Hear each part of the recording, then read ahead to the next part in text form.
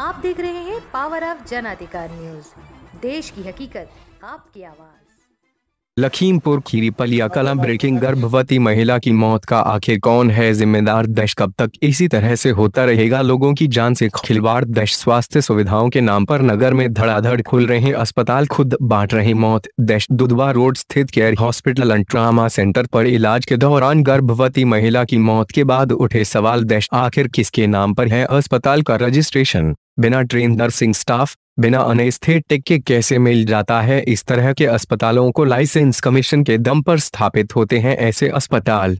Commission का लालच देकर ही भर्ती कराए जाते हैं। मरीज़ महिला की मौत के बाद से प्राइवेट अस्पताल के जिम्मेदार हैं। फरार बिना जाँच पड़ताल स्वास्थ्य विभाग द्वारा अस्पतालों के संचालन को मंजूरी देने पर भी उठ रहे हैं। सवाल सबसे ज़रूरी बात, गर्भवती महिला की मौत के बाद क्या जिम्मेदार शुरू करेंगे? इस तरह के प्राइवेट अस्पतालों की नए सिरे से जाँच ब्यूरो चीफ राम नरेश सुमन की रिपोर्ट। कुमार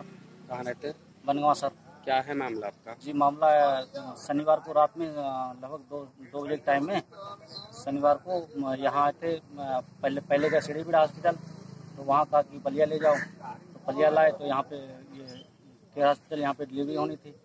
तो फिर उसके बाद में यहाँ पे लाए फिर डिलीवरी हो गई लगभग तीन तीन चार बजे।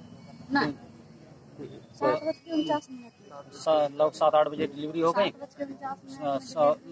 आठ बजे लगभग डिलीवरी हो गई। तो उसके बाद में एक दो बच्चे हुए इनके एक लड़का हुई लड़की हुई। लड़की भी आठ महीने साढ़े आठ महीने बता रहे हैं बच्चे। आठ महीने या साढ़े आठ महीने के उसमें एक छोटा ऑपरेशन भी हुआ है। और उसके दूसरे दिन इसने डॉक्टर भाटिया ने छुट्टी कर दी। तुरंत फिर दो दिन बाद में उनकी फिर लड़की की तबीयत खराब हो गई। फिर लाए यहाँ पे। फिर थोड़ा बहुत दवाई ववाई दिया फिर सही हो गई उसके बाद में फिर एक एक दिन बाद में फिर कल हम लेके आए। फिर कल सेड़ीबीड़ा अस्पताल ले गए कजरी अस्पताल। तो वहाँ पे फिर वो, वो जो दीपा हैं जो एनम है वहाँ की वो उसने कहा कि लखीमपुर ले जाओ। तो लखीमपुर लेने के बाद में यहाँ पे आए इनकी हॉस्पिटल। जो यही डॉक्टर हमारे जो वहीं डॉक्टर हैं इनका हॉस्पिटल यहीं पे पड़ता है? डॉक्टर भाटिया का हॉस्पिटल हाँ, हाँ। यहीं है ये रोड पे पड़ता है जो हमारे यहाँ तैनात हैं। इस समय वो सेड़ीबेड़ा में।